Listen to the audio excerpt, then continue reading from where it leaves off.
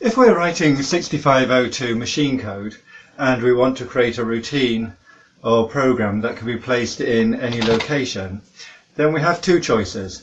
We can either create position independent code or make the code relocatable. Here I'm going to show how to make our code position independent and I'm going to use a few different examples and this uh, video accompanies a um, an article on the Tech Tinkering website which goes into a lot more depth, has lots of full examples and um, I will explain it properly. But uh, for this video I'm going to demonstrate using the VicMon uh, machine language monitor. One of the easiest things we can do to make our code position independent is to replace jumps to absolute addresses with branch instructions because a branch moves to a relative address so minus 127 to plus 128 bytes from the current address. Uh, however, the, there is no branch always uh, to directly replace a jump with and therefore we have to create a synthetic instruction. So we can do that quite e easily using the branch on overflow clear instruction. So I'll demonstrate that here. So we'll clear the overflow flag first of all and then branch if overflow clear. So this will always jump because we've cleared the overflow flag and then we'll jump to a location, I don't know where it'll be yet, I'll say there. And then just to prove that, uh, that this is working, we'll do a jump to 0282 and therefore if it doesn't jump it'll end up in an infinite, loop which we don't want to happen naturally. And then here we'll do our break. Then we'll go back to our location there and we'll jump to O2A7 which is our break command. And if we come out of this we can now go to 02A1 and there we are we can see that the PC is set to 02A7 which is our break instruction so we uh, we created a synthetic uh, branch always instruction which we can replace our jump absolutes with. Uh, this isn't entirely foolproof because uh, sometimes we will need to uh, to jump to somewhere that's more than minus 127 plus 128 bytes away. In which case, uh, one way we could do this is using an indirect jump. So we could store the location that we want to jump to in, say, a data table that we've already calculated the, uh, the absolute addresses for, and then jump via that. Whilst the jump absolute uh, instruction is relatively easy to replace with a branch instruction, it's a little bit more complicated for the jump to subroutine JSR instruction. So what I would do here is create a table of, um, of uh, jumps to the actual location that we want to do. So I'll demonstrate this by creating uh, a couple of subroutines uh, that we could uh, jump to. So what they're going to do, they're just going to set a value. So they'll set uh, a value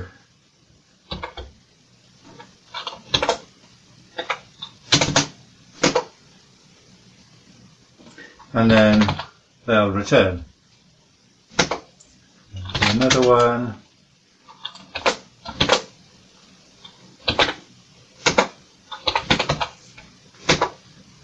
and then a third one.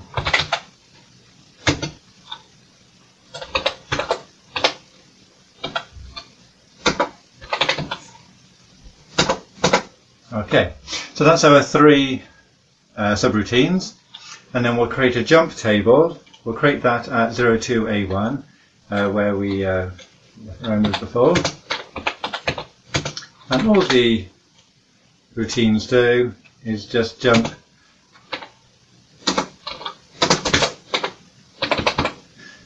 jump to the subroutine. And then the next one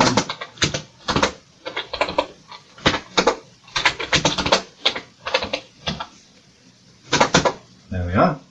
And then if I wanted to demonstrate this, uh, we can uh, put some code somewhere. I'll put it at uh, symbol to AF, JSR, and then we could use four, so the second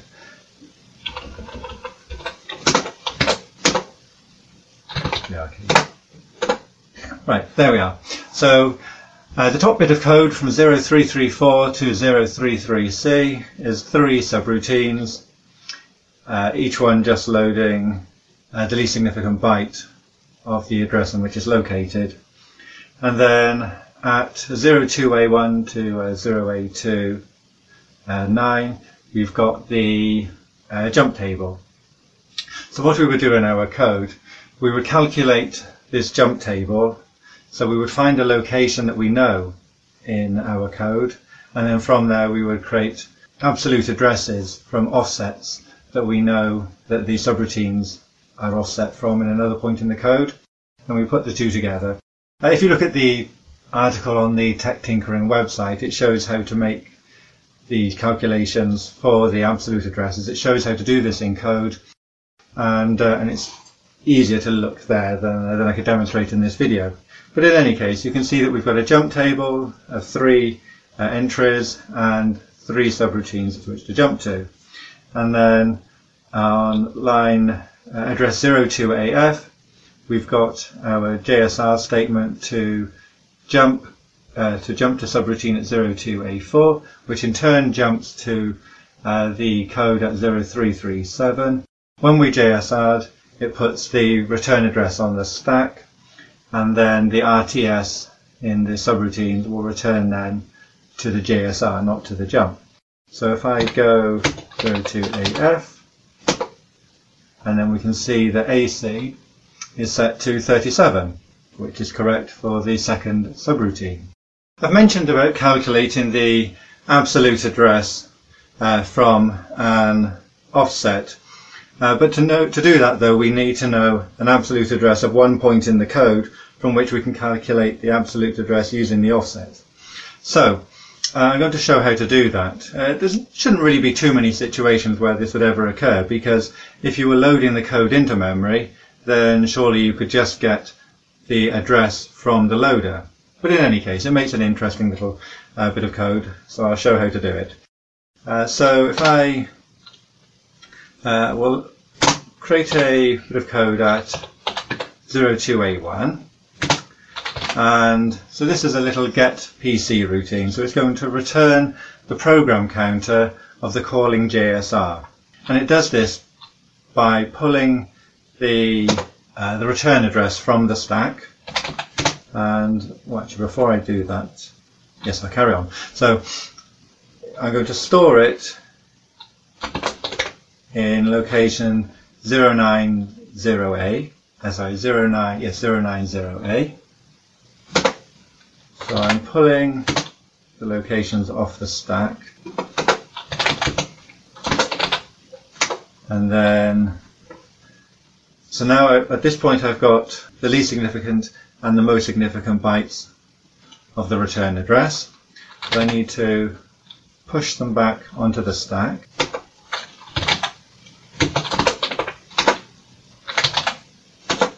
and then I need to decrement them by 2 so that I can get the, the address of the calling instruction. So we'll do this.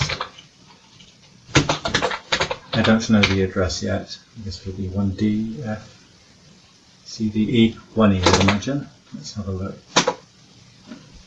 E and then dec.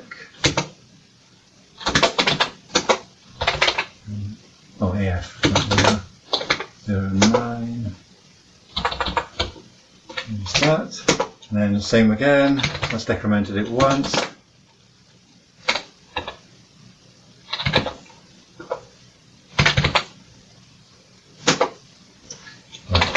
Decrement.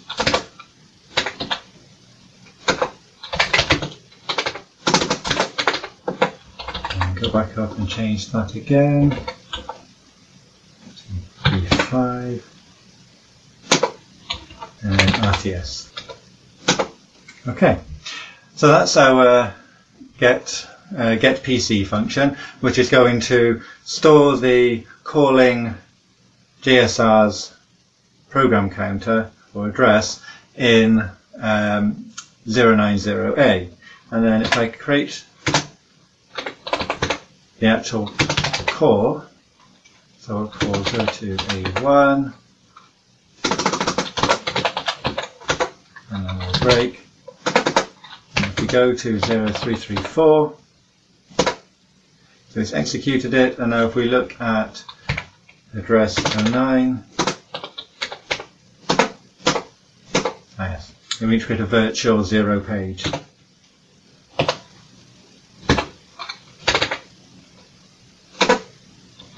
And go to and there we are. So there's the location zero. So uh, if we look at the 3403, but it's um, least significant byte first and then most significant byte. So it's 0334, which if we look near the top of the page, we can see that's where our JSR instruction is. So there we are. So we've got a fixed, we can use that to get a fixed point in memory uh, in our code. It's quite cumbersome getting that into into memory, into wherever it is that you store. You need to store that into a, store the get PC function uh, subroutine in a static location, and that can be a bit of a rigmarole uh, because you'll have to sort of load each byte, store, load, store, load, store, load, store for each byte of that get PC function. But uh, but in any case, it can be done, and then once once it's run, you've got the PC location, and you can also overwrite that get PC because you shouldn't need it again. To access data and run subroutines, we need to calculate absolute addresses for them. This can be done by using offsets from a certain point in the code and adding them to that point once its absolute address has been determined. Uh, so we need to find an absolute address first as our reference point, and this could be supplied either by our machine code lo loader or sought using, uh, using something like the get PC routine just shown.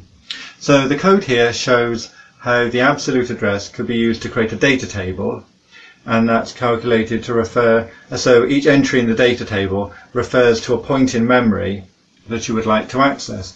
So, uh, so for example, uh, if we look here, we have a, a hello world message.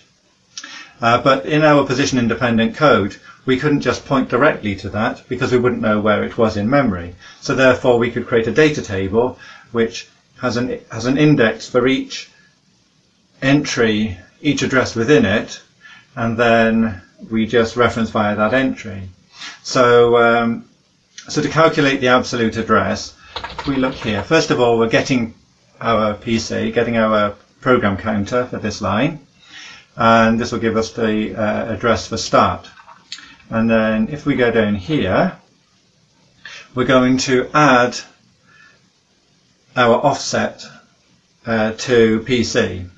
So PC contains the location of start, and then we're going to add to that hello message minus start.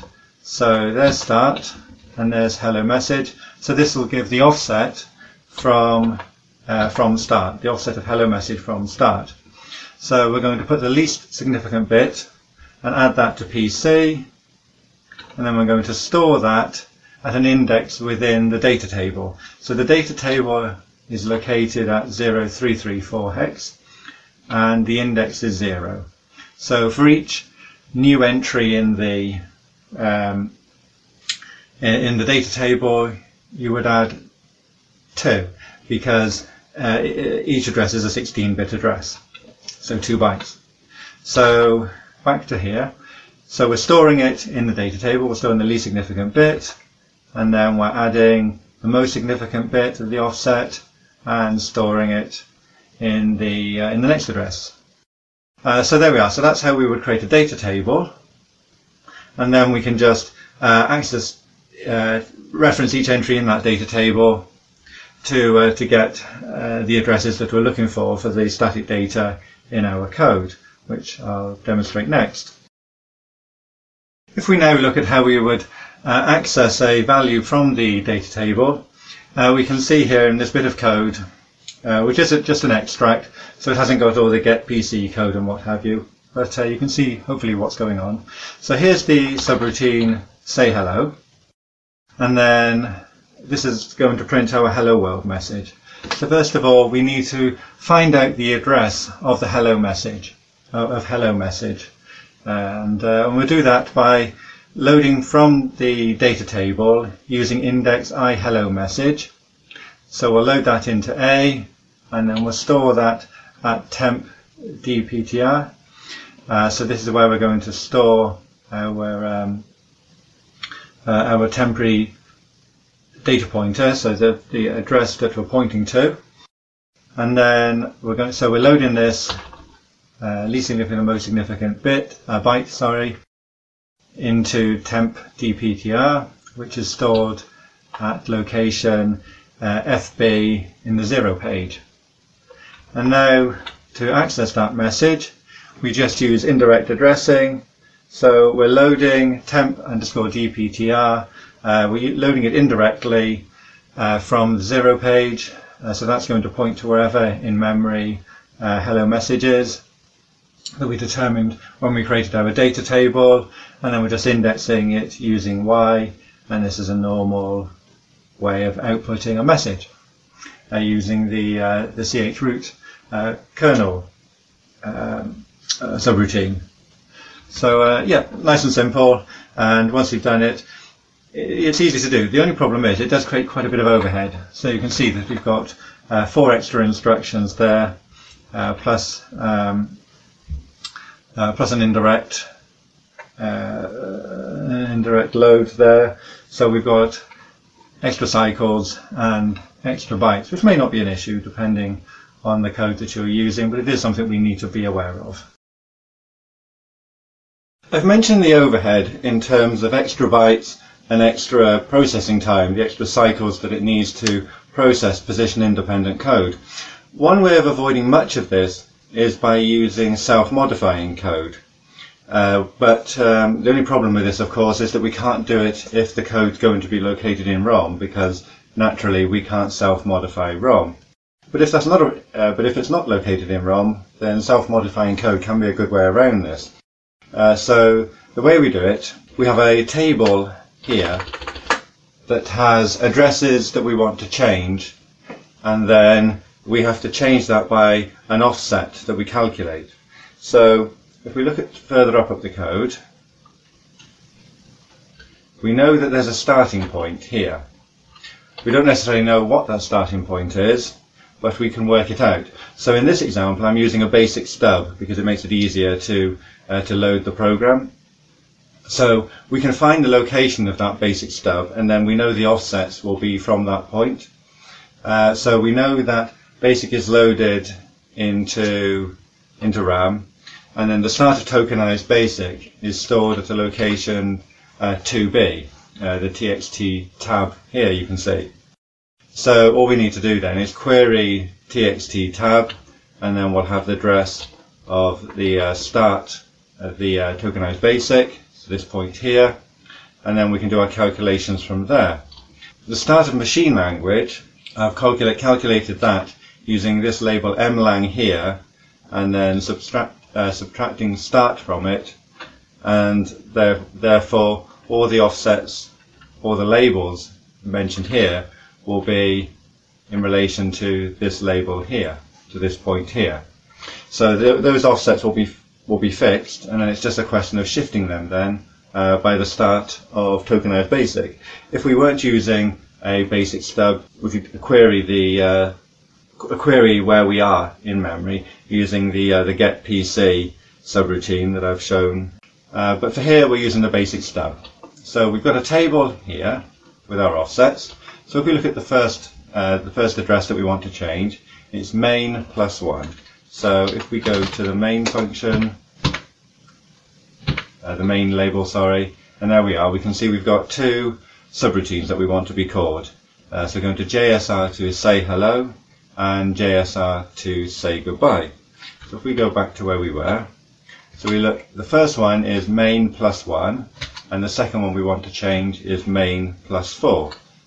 So if we have a look at these, so main, that's the, uh, the JSR instruction, and then plus one is the, uh, the address for say hello, and then we have plus four, so we have naught, one, two, 3, and then 4. Say goodbye. So that will change addresses pointed to by those JSR instructions to point to the say hello and say goodbye. And then we have further ones here. Uh, so say hello plus 3 and say, uh, say goodbye plus 3. So if we have a look at those. There we are. And we have subroutines there. Say hello. And if we count the instructions, so in 0, 1, 2, 3. So hello message. And same with here with say goodbye, 0, 1, 2, 3, bye message. And then if we look at our bye message up here, you can see that we've got two strings, hello message and bye message, and then those functions, say hello and say goodbye, essentially just going to print those strings. So there we are, we've been able to, we've got a, a self-modification table that's changing addresses of subroutines and addresses of strings and then we just need to self-modify the code. Once we've self-modified the code, there's very little overhead then, uh, and we could even write over or use the area that the self-modification routine was in as, as extra data storage. But in any case, so here we are, we have the setup SM. So we're setting up the self-modification. So first of all, we need to get the start of tokenized basic in this example, and we're going to add to that the uh, address for SM table which is our, uh, our addresses to change. So it's a 16-bit add, so we're going to do that there, and then we're going to store the address, a pointer, an absolute address to SM table in PSM table, which is located in the zero page at location FB. Right, so we've got the address for uh, the self-modification table now. And we, because this example is using a basic stub, uh, we also need to record the fact that we've uh, modified the code because otherwise if we ran the code a second time it would offset it by a further amount and everything would be wrong. So we record that we've that we've uh, we've already self-modified the code. Right, okay. So we now want to calculate each address to change. So we add to our offset in the self-modification table the first address. We want to add text tab, so the start of tokenized basic to it. So we do that here. And now we have the address that we want to change. And then we have to work out how much we want to change it by. So we're going to add to the self-modification address. Uh, so we're storing, I should say, we're storing self-modification address here at location 09. Right, and uh, yes, so we've got self-modification address stored, and then we want to change the value that's at that address. So we're going to add again to the self to the value at self-modification address, SM address, uh, the text tab, the start of tokenized basic, and then that'll just shift it by the amount that we need to move it to, to have it in the correct location in memory. And, and then once it gets to the end of the uh, end of the table, uh, we'll find it in the correct place, and then we uh, we record here that the uh, self modification has been done sorry, the code up above was to skip self-modification if it's already been run, and this one's to record it. And then the program just runs as normal. We call the uh, say hello, say goodbye subroutines, and return to the uh, the calling code. So uh, all in all, uh, self-modification is pretty easy.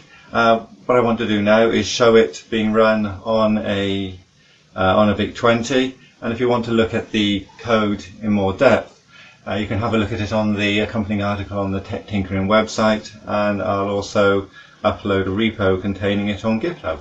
I have assembled the self-modifying position-independent code that has the basic stub in it uh, using the XA assembler, and if I load that now, so that'll load, and if I list, we can see the basic stub, and uh, I can run it, and there we are, hello world, goodbye world.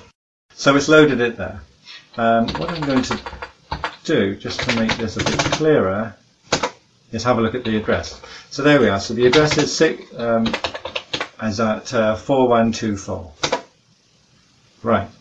If I now switch to a different system, say uh, an 8K system where BASIC will be in a different location, we'll have a look and see where the sys location is there and see if it still remains uh, remains working, whether it's position independence is still functional. Okay, so now we've got an 8K RAM expansion in. Load the program again. The list. We'll have a look at where. And there we have, we've got a different location now. So if we sys 4636, and it works without any problems. Quite a long video today. Uh, hopefully it made some sense.